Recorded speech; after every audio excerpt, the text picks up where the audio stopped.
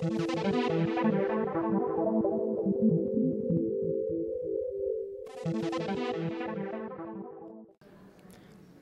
this is Sameer Gupta, fellow at the University of South Florida, reporting for FIT on the Go News Blog.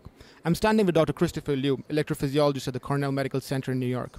Dr. Liu, what are some of the career advice you would like to give fellows in training who are planning a career in electrophysiology? Electrophysiology is a very in, exciting field. Um, as you know, our uh, procedures and treatment options for patients with arrhythmias has really exploded in the past 10 years.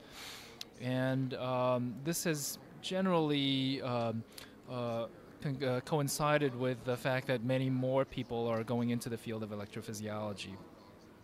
As you know, um, several years ago, um, the job market for electrophysiologists was really booming and excellent.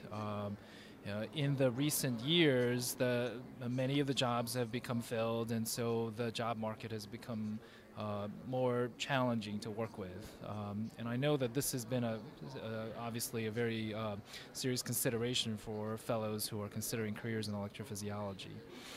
Um, I think certainly it's going to be uh, in the coming years we're going to reach some sort of um, some sort of equilibrium in terms of how many electrophysiologists we need, um, and obviously that's also going to be a dynamic factor. So um, so, for example, uh, as treatments for AFib and AFib ablations and AFib therapies that are delivered by electrophysiologists uh, become more generalizable, as the procedures become easier to do, as more patients are uh, candidates for, for ablation procedures, um, I, I, believe that um, uh, sort of electrophysiology training and electrophysiology practice is going to be a more generalizable type of practice. So I think, I think that's a consideration to uh, to keep in mind.